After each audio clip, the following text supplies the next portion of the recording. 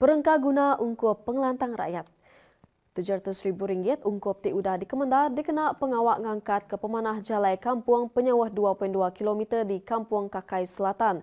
Kukaban Konsul Negeri Aduan Bukit Semuja, John Ilus, projek tu ianya projek transformation menua pesisir RTP ti kedua bagi Kampung Kakai.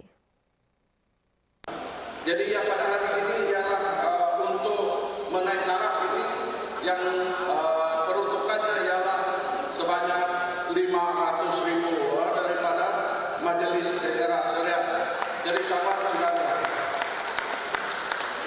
Seperti yang kita sudah malu bahwa uh, jarak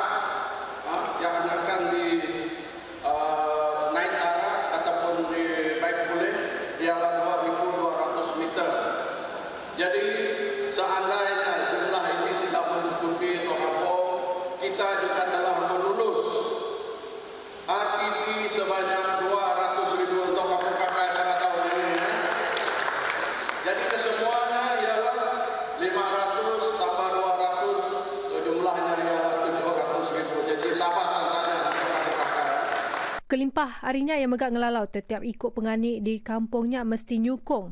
Inisiatif Perintah Negeri ngambil ke program pemansang oleh diteruskan bak kandang nurnya.